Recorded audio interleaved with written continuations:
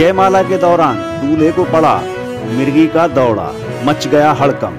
घराती व बारातियों में जमकर हुआ बवाल। दुल्हन ने किया शादी से इनकार और दी आत्महत्या करने की चेतावनी।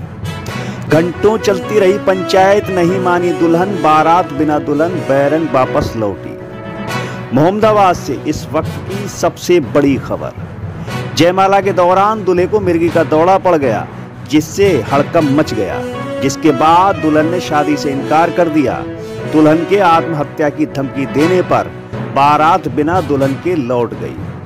तो दोस्तों, नमस्कार, मैं इरशाद अली और आप देख रहे हैं यूपी छत्तर न्यूज़। खबर हमारी दुनिया तक तो दोस्तों, खबर जानने से पहले यदि आपने हमारे चैनल को सब्सक्राइब नहीं किया है तो चैनल को सब्सक्राइब करें और फेसबुक पर हमें फॉलो करें।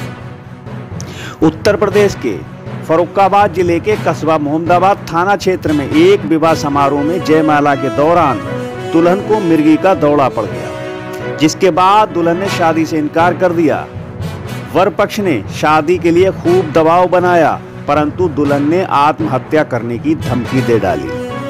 काफ़ी कहा सुनी के बाद वर पक्ष बारात लेकर बिना दुल्हन के वापस लौट गए। इस मामले की जानकारी पुलिस को नहीं दी गई। आपको बताते चले कि मामला मोहम्मदाबाद कोतवाली मोहल्ला नदसा का है।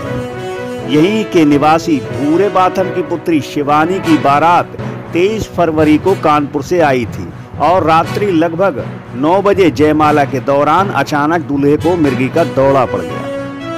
और वह स्टेज पर ही गिर पड़ा। ये देख मौके पर अफरा तफरी मच गई और जल्दी जल्दी लोग दूल्हे को उठाकर बारात ठहराने वाली जगह पर ले गए। लगभग आधा घंटे तक सेवादारी के बाद दूल्हा को होश आया और दोबारा जयमाला का कार्यक्रम संपन्न हुआ। सुबह फेरों के समय दुल्हन ने शादी से इनकार कर दिया। परिजनों ने दुल्हन को खूब समझाया, परंतु दुल्हन नहीं मानी। यहाँ तक कि दुल्हन ने आत्महत्या करने की धमकी भी दे डाली।